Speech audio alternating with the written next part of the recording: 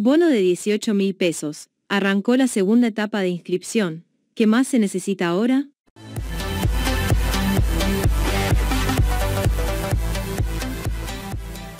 Hola amigos, gracias nuevamente por estar en un video del canal, gracias por sus me gusta, gracias por comentar y gracias por compartir. Si nos ves por primera vez puedes suscribirte haciendo clic en el botón rojo abajo a la derecha de este video o en el botón de suscripción que también se encuentra en la parte inferior. Y acuérdate de activar la campanita, así te informa YouTube cada vez que subimos información sobre este y otros temas de interés general.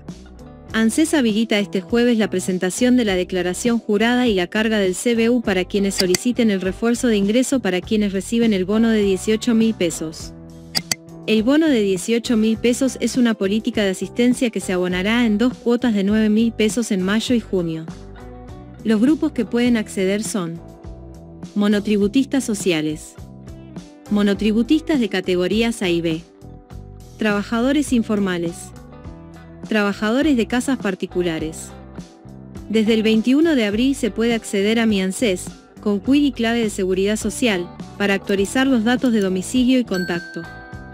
Esta primera etapa de inscripción y actualización de datos de contacto continuará abierta hasta que todas y todos los que necesiten puedan anotarse.